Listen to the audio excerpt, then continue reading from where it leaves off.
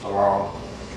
But, so, but Tarawa is also part of uh, uh, Commonwealth of the um, Marshall Islands. So it's, all, all those islands want to have different governments, but basically the traditions are the same. Their diet is stuff that they raise there and catch there and, and all of that, yeah. Uh, in Maseru, it's a lot, lot of the, the food comes from, from the states. Uh, when you get out to Ujai, Ubai, uh, Pikelot, uh, Inuit uh, Juliet, Namili, and all spaces places, a lot of it is traditional, but it's still supplemented by canned food. Like Jared was saying, as you get closer to these other islands, you see more of the traditional things are happening. I'm just wondering about the, um, the health of the people there, you know, like that, Satawal. You know, it's, it's funny. Although you might see how they live, but on the islands you don't see anyone without a home. You don't see any health problems.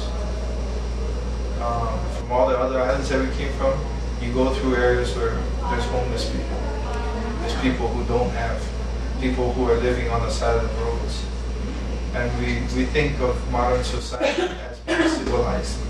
Well, I can tell you, my, these people are a lot better off the way they are than being civilized. On their islands, they take care of all their people. There's no one saying that, oh, you have more money than another person. Oh, the same.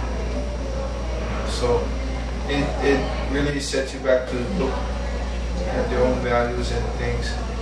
And uh, kind of like what I was talking about earlier, about how Mau came outside of his, you know, his culture to, to share with us. Yeah. On one hand, you know, we're very thankful for what he did.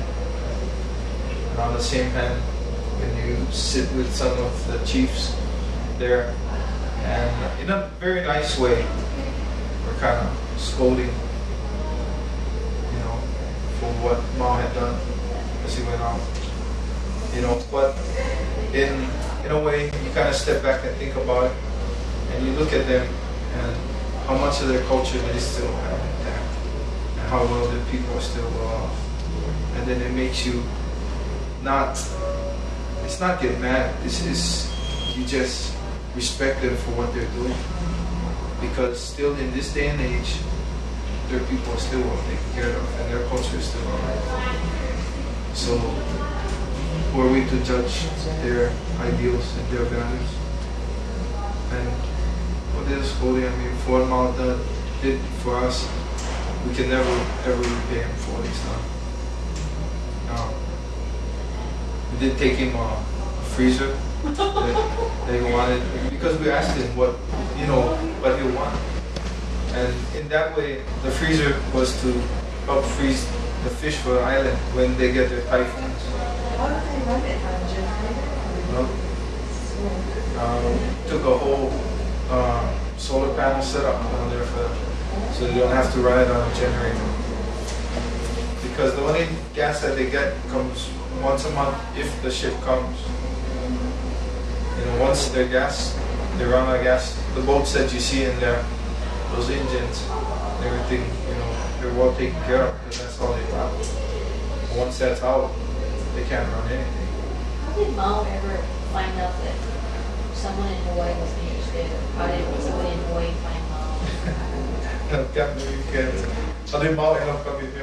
Well, actually, in 1974, the organization started called Polynesian Voyaging Society, and they were looking to build a traditional voyaging canoe, all in, in the same metrics as all our ancient voyaging canoes. when that was built, they're looking for somebody to do that had the knowledge of uh, doing non- non-instrument navigation. So throughout the search, search in Hawaii, and also through Polynesia, they couldn't find anybody um, that still had the knowledge, the intact knowledge to do this voyage. Um, fortunately for for Hawaii and, I guess South Polynesia, um, Mau Mau's uh, niece's husband was in Hawaii. He uh, he works for the U.S. Fisheries, or he was at that time. E ala mai nā muku e ala ke aloha, e ke aloha, ke aloha